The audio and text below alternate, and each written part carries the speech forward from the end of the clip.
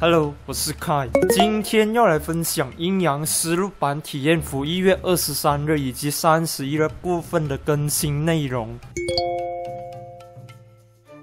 首先是之前已经展示过两次的配师制度系统，四神传记系统全面升级，界面表现全新改版。同时，辽办推出了部分四神的新传记：大天狗、研磨妖刀及彼岸花面灵器。不过，语音方面目前还未时装。解锁新传记后将获得相关奖励，可自由更换四神的武器、配师、展示动作、技能特效。要等新传记的解锁需要增添与式神的亲密度，方法是进行礼物赠送，通过试胆大会、阴阳寮功勋商店、逢魔之时、同心之蓝、神秘商人礼包物等方式获取。两个新皮肤上架商店：大天狗安记售价两百一十外观券，金鱼姬金迷之偶则是一百六十。补充热核防滋养技能叙述，补上多个热核防在。在场时将牺牲所有晴天娃娃，明确相关效果。调整匣中少女回梦叙述，改为被记录的友方受到伤害时，若会因该次伤害而阵亡，则免疫该次伤害并立即生效，更明确其效果。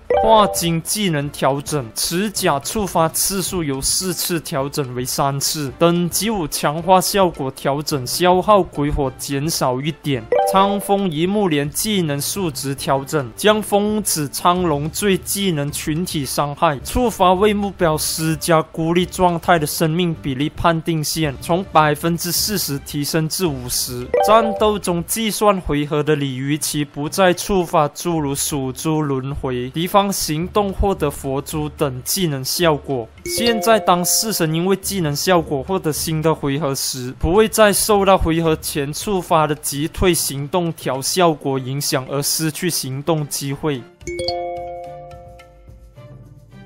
商店新增黑达摩赠礼，每天可到礼包物领取，达到五十次后可获得黑达摩一个。万象之巅头像框相针，抽卡十次即可获得。之后的召唤都会为该头像框增加经验，造型会随着提升而逐渐改变。此外，也会根据玩家在维护前的 SPSSR 收入情况，获增一定的初始经验，包括两面符和联动角色。刚刚。登录亚洲服的阿阶四神天井下上架神龛，使用两百玉札进行兑换。阴阳寮补给调整优化，补给体力可以领取时，地图的辽灰上会有提示出现，体力最多可以储存二十点。玩家可选择在附近阴阳寮领取补给体力，也能回自己寮领取。鬼使白 AI 优化，目前不会在存活敌人过少时释放魂手。最后就是属猪新外观蒙毅鹤村，售价为一百二十皮肤券。